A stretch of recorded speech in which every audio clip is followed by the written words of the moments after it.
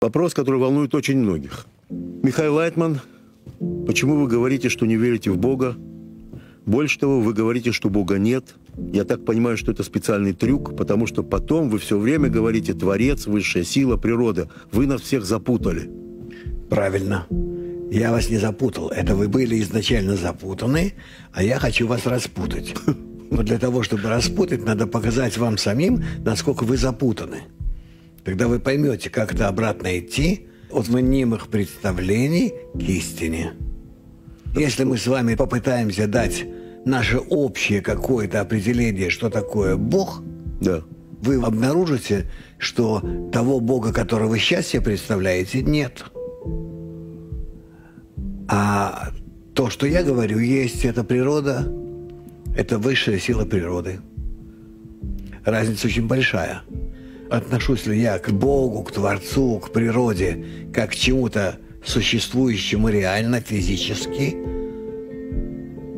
который я должен раскрыть для себя, ощутить в своих чувствах. Так?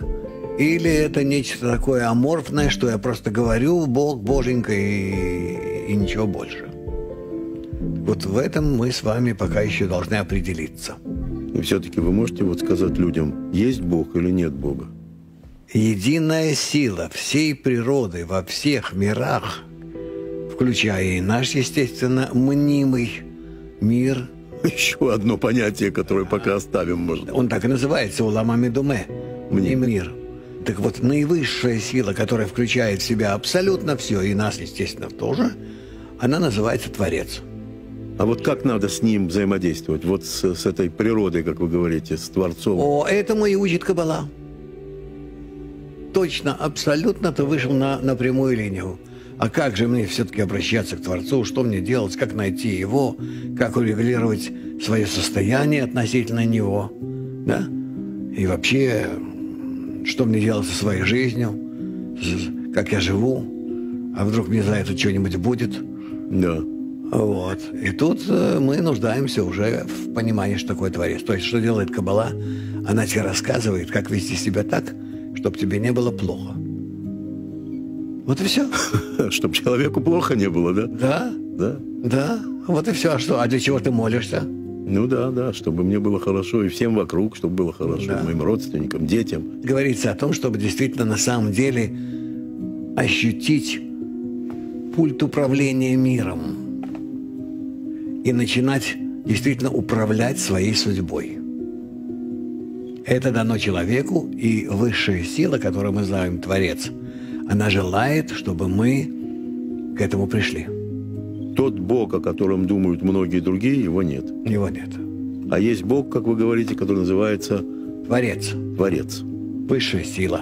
высшая сила. Это на самом деле что? Вот еще раз, если можно концу. Это высшая сила природы, которая включает в себя всю природу. Сам Творец и есть Бог. Сама природа и есть Бог. Только не нашего мира, а общая, которую мы можем, можем раскрыть вплоть до того, что мы можем слиться с ней, с этой природой. Мы можем управлять даже ей. Он, Творец желает, чтобы мы на таком уровне были, чтобы мы стали вместе с Ним партнеры. А когда вы говорите слово природа, что вы подразумеваете под этим? Я под этим подразумеваю все миры. Наш мир даже не считается, естественно. Все миры, которые в общем включают в себя пять миров, допустим, которые в общем включаются и управляются одной единой силой, одним единым законом. Вот этот закон единства, он и является Творцом. Понятно, но это высоко достаточно. Вот. Нет, но если мы говорим о более-менее каком-то приближении к истине. И поэтому, естественно, я окажусь, э, не знаю. Атеистам, неверующим в Бога и так далее, и так далее. Да-да. Так скажем, для вас Бог есть. Для вас Бог есть. Для меня есть Творец. Творец, да, скажем. Лучше так. Это тот, который сотворил все и тебя, и желает, чтобы ты выполнил свое предназначение. Какое? достиг его ступени, подобие ему. Поэтому человек называется Адам от слова «доме» – «подобный».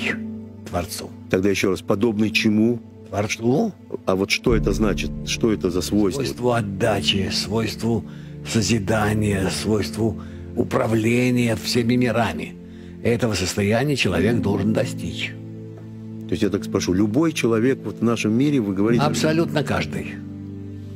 Уму непостижимо, да. это уму непостижимо. К этому придешь. Хочешь или нет.